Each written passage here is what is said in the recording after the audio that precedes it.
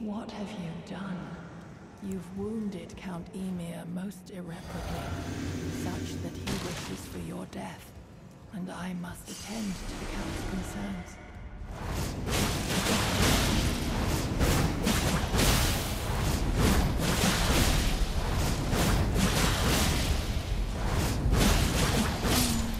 My dear star, a fine mother, you will be.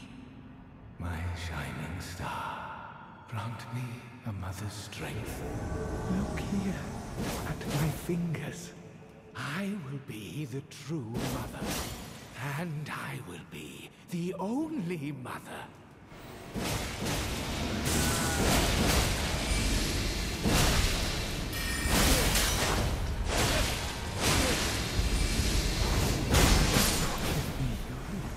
Truly, I